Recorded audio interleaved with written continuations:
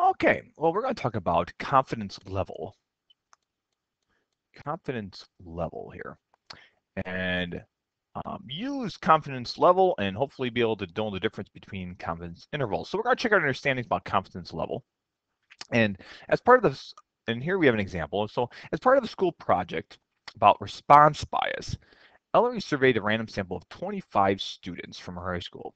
One of the questions in the survey required the students to state their GPA out loud. Based on the response, Ellery said that she was 90% confident that the interval from 3.14 to 3.5 captures the mean GPA for all students at her high school. Okay, so right here we have a confidence interval, okay, of 3.14 to, all right, uh, we'll just put this confidence interval from here to 3.52, okay, 3.52. Now, we want to interpret the confidence level, not the interval. So in the past, we said, well, we would, a confidence interval, we would say this would be, we are 95% confident that the true mean, all right, of the GPA of all students at her school would be between 3.14 to 3.52. Okay, that would be confidence interval. However, for confidence level, we know that um, if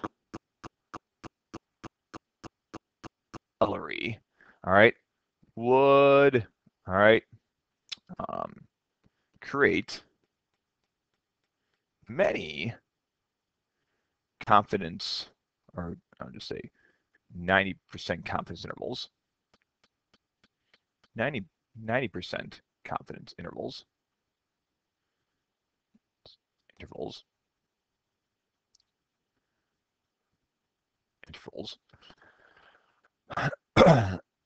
for, uh, yeah, let's just say for intervals, we expect,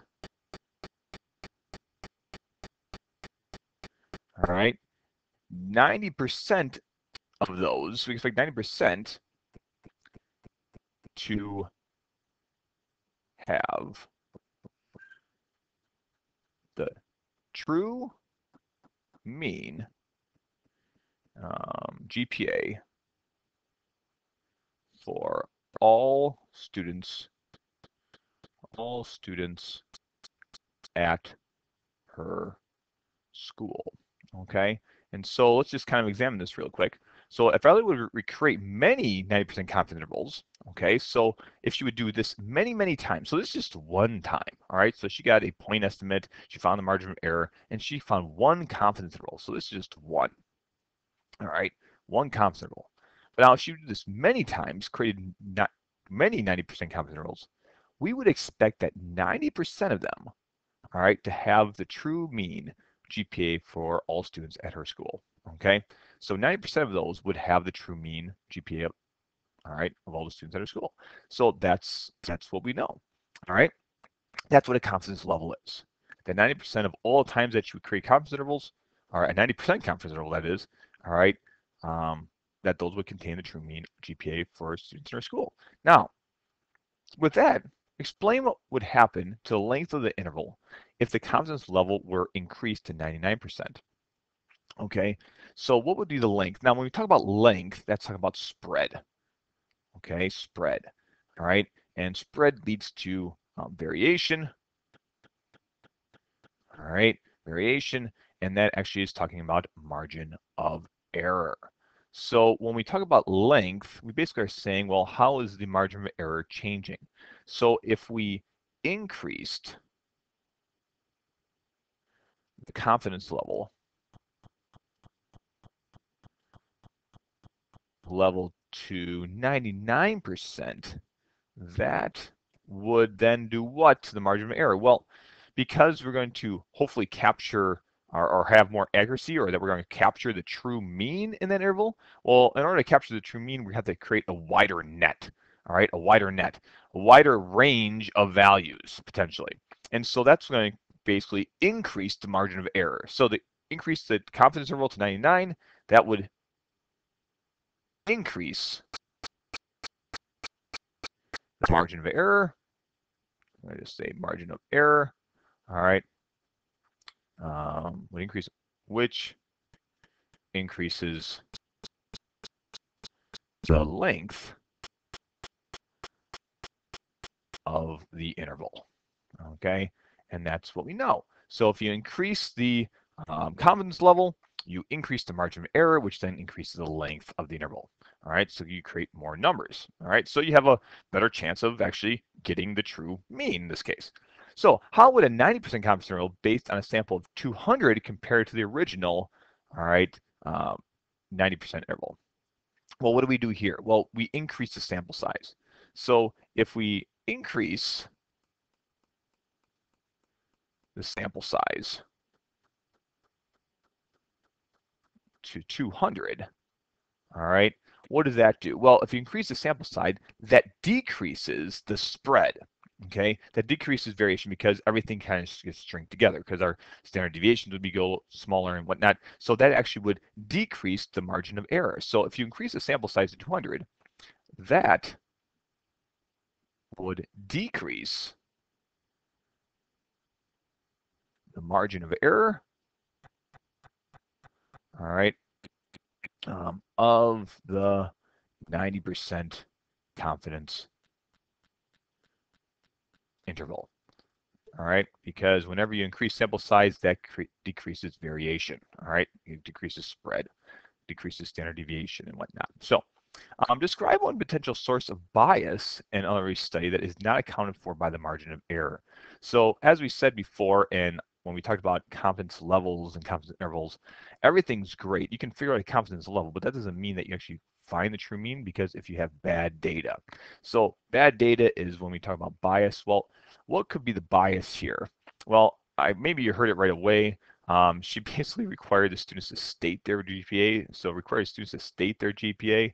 That, my friends, is bias, all right? It's probably response bias, okay? Response bias. And the reason why it's response bias is because if you had to state your GPA, you probably want to state it higher, so in front of everybody, so they don't think you're dumb or something like that, um, or not as smart, and you don't want to be embarrassed.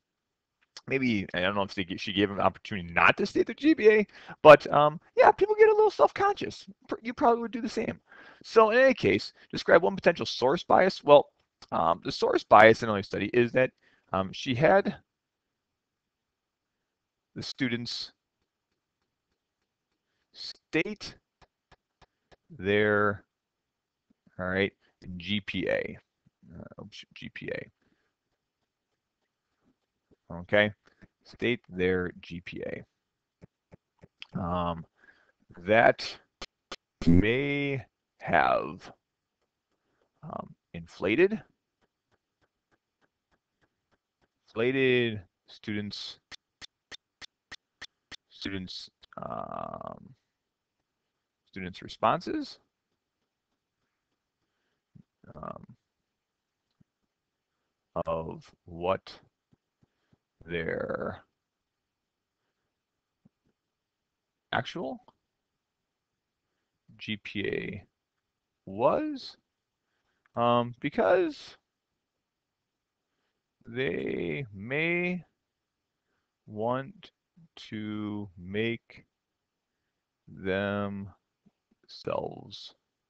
um, make themselves appear to be better, maybe smarter than they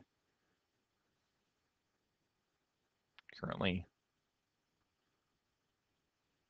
currently have. All right, or maybe they just appear to be hit, maybe not better or smarter. Maybe just have to appear to have a higher GPA than they currently have. Now that's probably a better way of saying it. Appear to have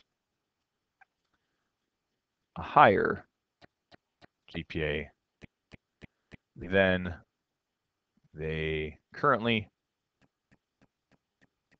have. Okay and you can put that a, a reason why that's so um, basically we the students GPAs that may have inflated students responses and then they actually the GPA was because they want to make themselves appear to have a higher GPA than they currently ha really have all right and so that that's where the source bias comes in and that's where we're describing it all right um, we state what what that was um, had the students state their GPAs and so um, the response bias might be a little bit a little higher. Okay, well, we just went through confidence level. We talked about how confidence level can affect um, margin of error and how sample size can affect margin of error and also how um, in reality is that bad data is bad data and it does not affect margin of error at all. Um, margin of error is just a calculation and um, you just want to get good data. So whenever you're doing statistics, my friends, good data is better than bad data. All right. And so I hope this helps you out on confidence level and good luck and God bless in the rest of your problems.